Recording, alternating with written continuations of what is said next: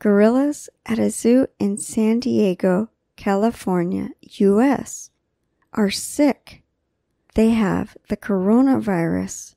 It is very unusual. It never happens in the US before.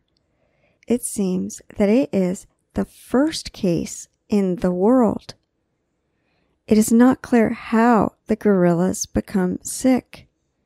A man works at the zoo. He has the coronavirus. He does not have any symptoms. It means that he does not know that he is sick. He works with the gorillas. He wears a mask.